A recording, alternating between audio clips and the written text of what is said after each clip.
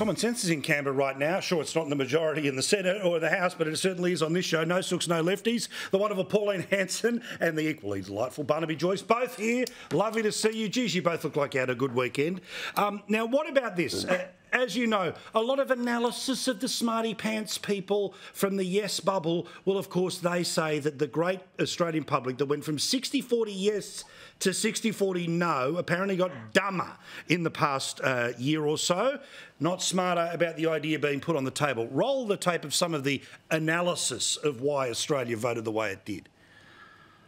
In those inner, wealthier, educated electorates, we're seeing the yes vote hold up quite well. Areas with higher levels of education more likely to vote in favour of the voice. Streets versus the elite. Those wealthier, more educated suburbs are more likely to vote yes.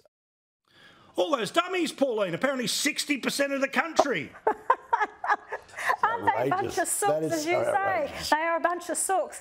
Um, Paul, let me just tell people. Okay, we've had 45 um, referendums since uh, Federation 1901.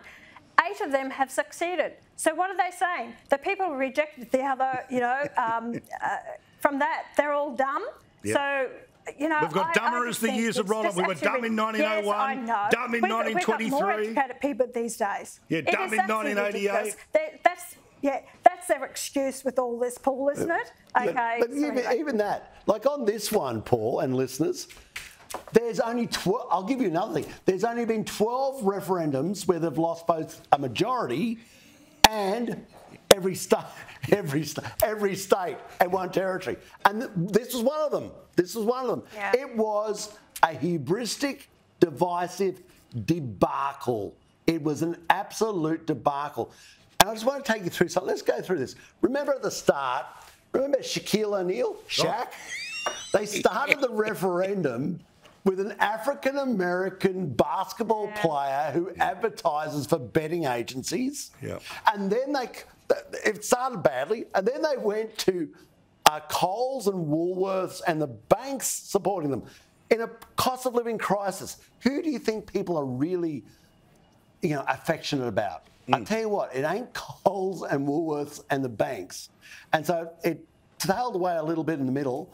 And the end, of course, they had the absolute train wreck, which was the vote. So, as Blackadder said, it started badly, tailed away a little bit in the middle, and the less said about the end of it, the better.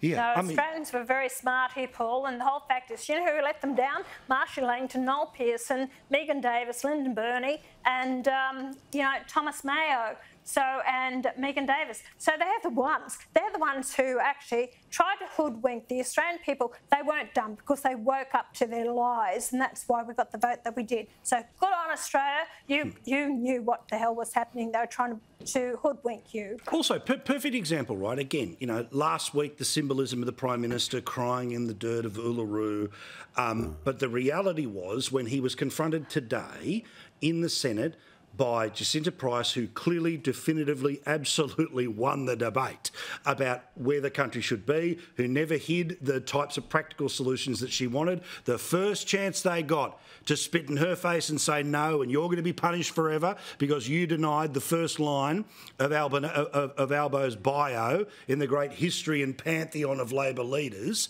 What about what happened in the Senate today, Pauline, where they just crushed do not pass go, do not get $200. Not the legislation to set up a Royal Commission, but a request to set up a Royal Commission. What arrogance from these people who were crying in the dirt a week ago. Paul, they have no interest in really um, digging into the problems that we have.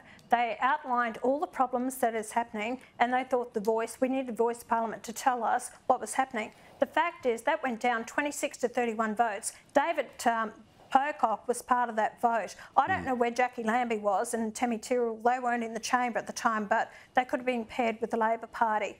The fact is that, you know, I've been calling for audits. I've put up, I've actually named people and organisations where corruption is happening. They refuse to take, allow me to table the documents. Jacinta Price is spot on the money here, which I've been calling for the last 27 years for audits mm. to be done.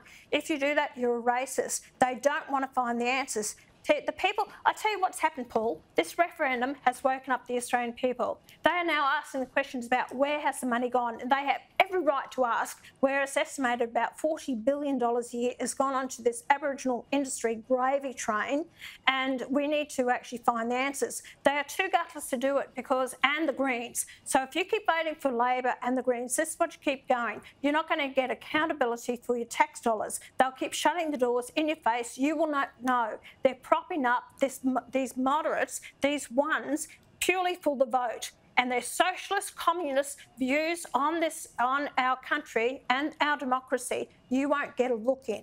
But, but Pauline, also, tell me what you really think. No, no, that's why we love her, right? When she's on here, she, she she lets she lets the restrictor plater off, and it's all it's mm. all Pauline. We love it, just as we do with you. But